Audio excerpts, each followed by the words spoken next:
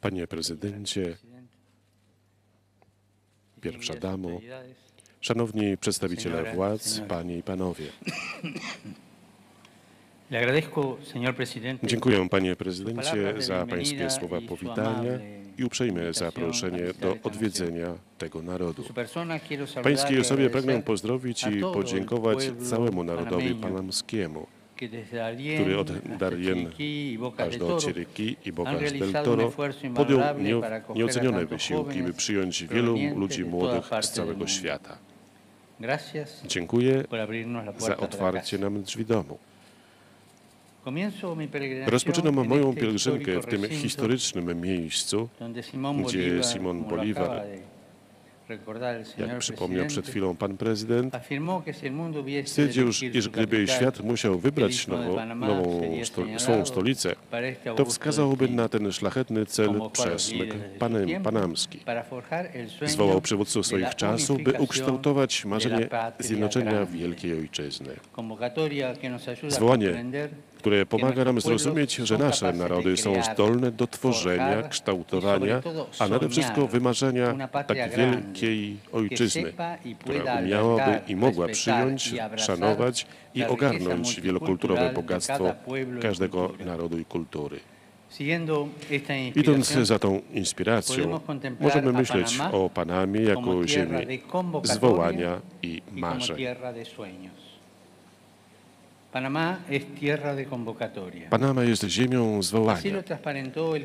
Wyraźnie ukazał to y kongres transparenta i tak to ukazuje również dzisiaj przybycie tysięcy ludzi młodych, którzy przynoszą ze sobą y pragnienie i chęć spotkania się y i świętowania. Wasz kraj, ze względu na uprzywilejowaną lokalizację, stanowi miejsce estratégico, strategiczne nie no tylko dla regionu, ale także dla, dla, dla całego świata. Jest mostem między natural de oceanami i naturalną ziemią spotkań. Panama, najwyższy, najwyższy kraj w obu Amerykach, jest symbolem zrównoważonego rozwoju, rodzącego się ze zdolności do tworzenia więzi i y przymierzy.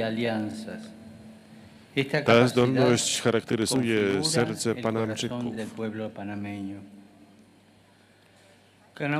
Każdy z Was zajmuje szczególne miejsce w konstrukcji państwa i jest wezwany do zapewnienia, para by ta ziemia mogła wypełnić swoje powołanie do bycia ziemią zwołania i spotkań.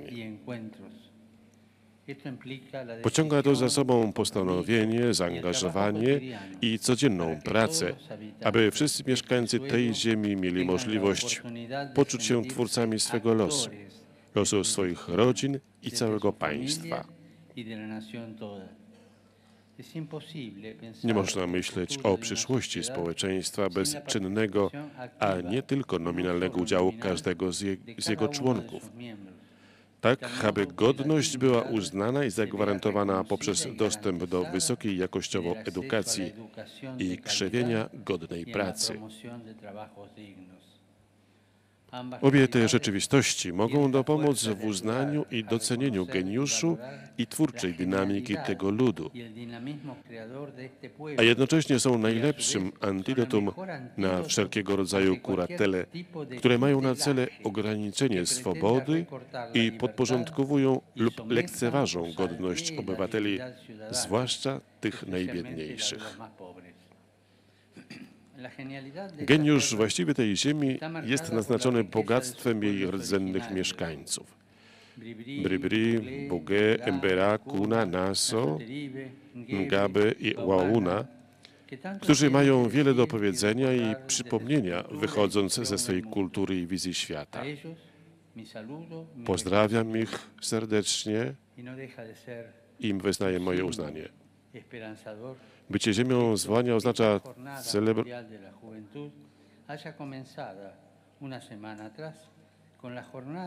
I, nie, I jest oczywiście wielkie, ma wielkie znaczenie to, że te, to światowe spotkanie, światowe spotkanie rozpoczęło się tydzień wcześniej podczas spotkania właśnie rdzennych mieszkańców tej ziemi.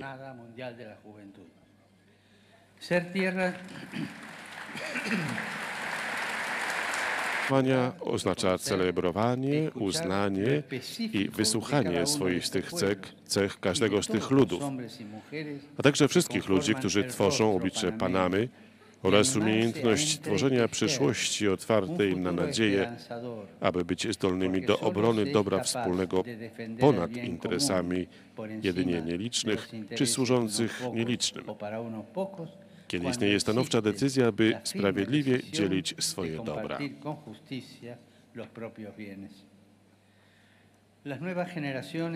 Nowe pokolenia z ich radością i entuzjazmem, z ich wolnością, wrażliwością i zdolnością krytycyzmu wymagają od dorosłych, a zwłaszcza od tych wszystkich, którzy posiadają rolę wiodącą w życiu publicznym, życia zgodnego z posiadaną godnością i powierzoną im władzą. Jest to zachęta do życia z wyrzeczeniem i przejrzystością, w konkretnej odpowiedzialności za innych i za świat. Jest to styl życia, który ukazałby, że służba publiczna jest synonimem uczciwości i sprawiedliwości oraz przeciwieństwem wszelkiej formy korupcji.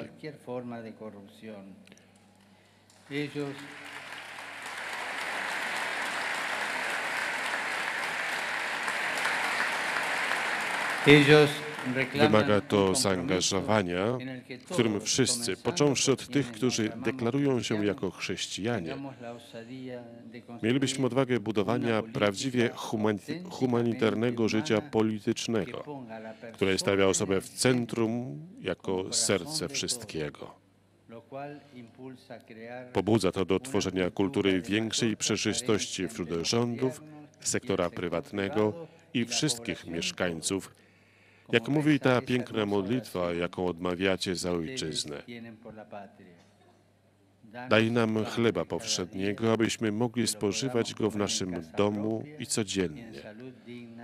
Byśmy mogli, go, byśmy mogli spożywać go w naszym domu i w zdrowiu godnym ludzi. Panama jest również ziemią marzeń.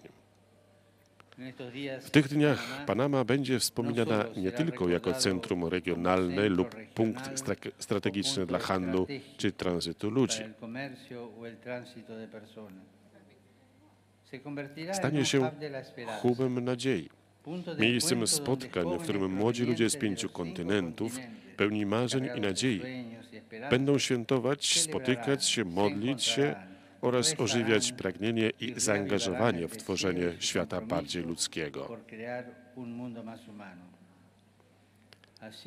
W ten sposób będą stawiać wyzwanie krótkowzrocznym, doraźnym poglądom ludzi zwiedzionych rezygnacją, chciwością czy zniewolonych paradygmatem technokratycznym, wierzących, że jedyna możliwa droga prowadzi przez grę rywalizacji, spekulacji i prawa silniejszego, gdzie możny pożera słabszego,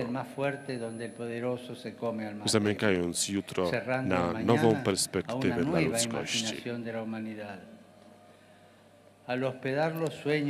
Goszcząc marzenia tych młodych ludzi, Panama staje się ziemią marzeń stawiającą wyzwanie wielu pewnikom naszego czasu i stwarzającą życiodajne perspektywy wskazujące nową podstawę do kroczenia ze spojrzeniem naznaczonym szacunkiem i przenikniętym współczuciem, współczuciem dla drugiego.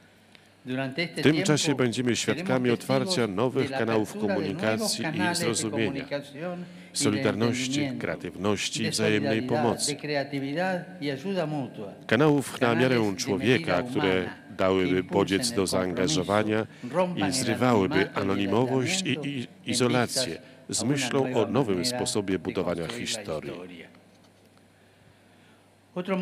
Wiemy, że inny świat jest możliwy, a ludzie młodzi zapraszają nas do udziału w jego budowaniu, aby marzenia nie pozostały czymś chwilowym czy ulotnym, aby pobudziły do paktu społecznego, w którym wszyscy mogliby mieć możliwość marzenia o jakimś jutrze. Również prawo do przyszłości jest prawem człowieka. W tej perspektywie zdają się nabierać kształtu słowa Ricardo Miro, który śpiewając o tak bardzo umiłowanej ojczyźnie mówił, aby widząc Ciebie ojczyzno, mówiono, że ukształtowała Cię wola Boża, aby pod oświecającym Cię słońcem zjednoczyła się w Tobie cała ludzkość.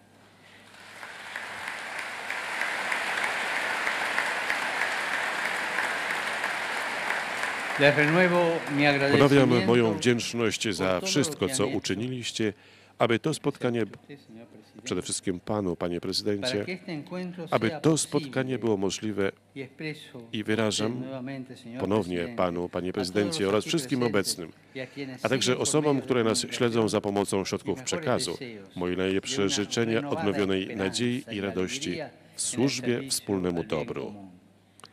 Niech Matka Boża, starsza, błogosławi i strzeże Panamę.